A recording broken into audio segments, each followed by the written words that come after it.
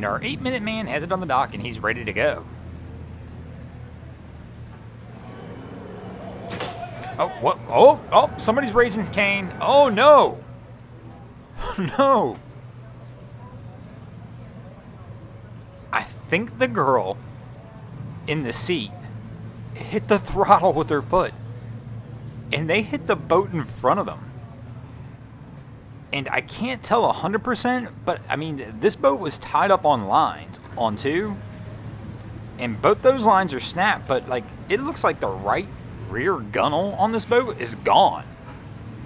So if you looked at the left gunnel, just coming back toward the stern where the, the grill is, look at the grill and look back, you'll see there's a rod holder. There was one on the right hand side, but that whole piece of the gunnel rail is missing now. Girl still just doesn't seem to care either. So the captain's not even on the vessel. The gentleman who's down here with her Oh man, she had a little bit too much fun at the sandbar, it looks like. She's like yelling at him to get back onto the dock, and he's like, Yeah, hold on, I gotta wait for these people. Um, this one will be interesting though. I don't know what my man's skill level is on docking a boat here, and uh, I don't believe she's in any position to help. Uh oh. The, the boat they hit is obviously not happy but apparently she's not happy with them either for some reason. And this is just going to be an interesting one overall because she's yelling. the gentleman you see standing on two talking to the captain of the vessel they hit, that is the guy who captained this vessel into the dock. So I'm not 100% sure, but I'm pretty sure, I'm pretty confident that th this is his boat because I'm pretty sure this is his girlfriend that's down on the boat yelling as well. So he's trying to talk to the captain down here, trying to calm him down. And our guy definitely, I mean, he doesn't look overly confident here that's behind the helm of the vessel right now as to what he's going to do. So the two guys on the dock are shaking hands, so hopefully we can get this settled. But uh, our girl's now moving to the bow of the boat. She might not be done talking smack.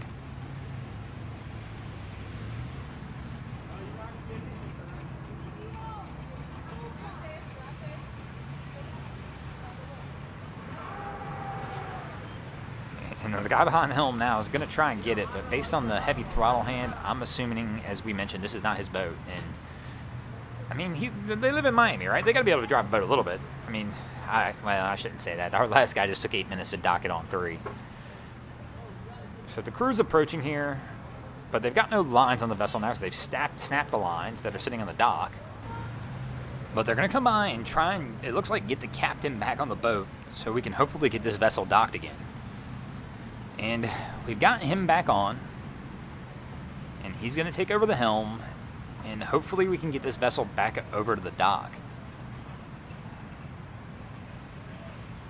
Not to lie, though. Everybody looks like they've had a good time at the sandbar today. Oh, she's, uh, she's not happy. Um, yeah, I guess he's trying to calm her down.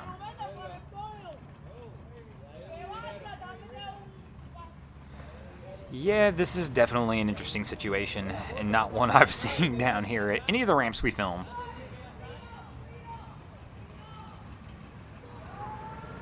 So, Hart Captain, it looks like, is going to try and get back behind this thing and see if we can get it back set up over on two.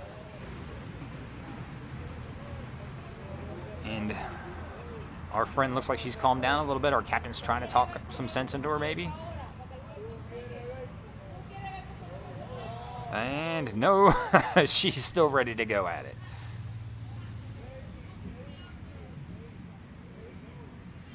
This is just a strange, strange situation. Let me know in the comments below, guys, because my mind's kind of blown right now with everything that's going on. Our girl on the dock is not having this anymore. She's done with it.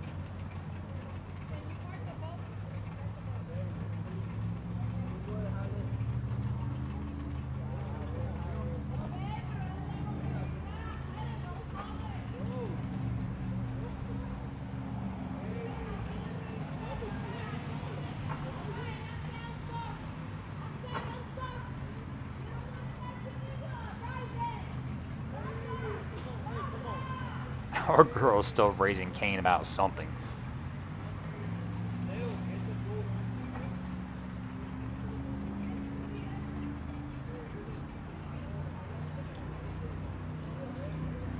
And our girl on the dock is just done with this situation. She doesn't want anything to do with it. She wants them to dock this boat and get the heck out of here.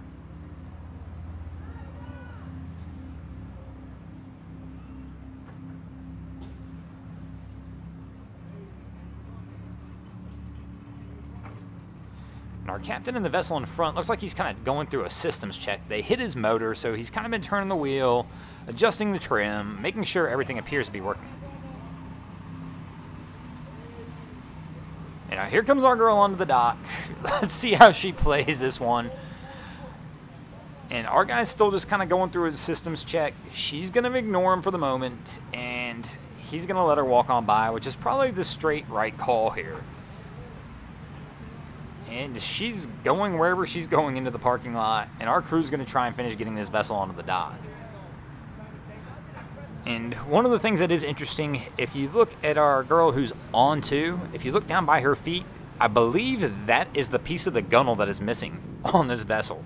So they absolutely did rip part of the gunnel off.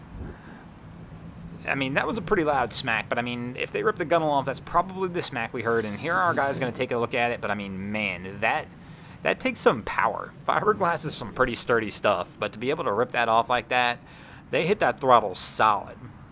And I'm wondering how hard they smacked the boat in front of him. I mean, he's still kind of going through a system check, trying to see if that is working.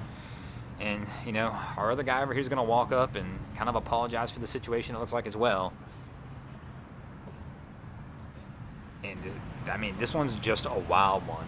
I mean, let me know in the comments below, like, how you would have handled this. I mean, that's just, I mean, obviously this crew's had a little fun out there today, but and before anybody starts blowing up on us like, oh, you guys, I mean, obviously, you know, you probably should call the authorities or whatever. The authorities are here. At 79th, they're here. Somebody's seen this. There are cop cars here right now. Um, but it's, man, this one's just a nuts situation. And our girl's decided she's just going to wander off somewhere. She wandered by again in the back. But, uh, I mean, and our guy's got it tied up as best as he can have it tied up now since he's lost part of his gunnel. And it looks like we're going to get out of here without any further incident, but I mean, man, this is just one of those ones to remind you that, you know, when you leave the helm of the vessel, especially if you're already kind of tied up in the dock, it's probably a good idea just to go ahead and kill that motor. Um, this could have been avoided, and but man, we're going to get out of here as they get out of here as well. Thanks for watching. I hope you enjoyed this episode of Miami Boat Ramps. If you did, please check out our other content. We have Wavy Boats, who does a bunch of great things down at Haulover Inlet. My channel, Broncos Guru, we do some great comedy boating videos over there as well. And of course, we got Boats versus Haulover, where man and machine take on Mother Nature down at Haulover Inlet in Miami, Florida. And if you guys haven't already, go ahead and drop an anchor on the subscribe button here.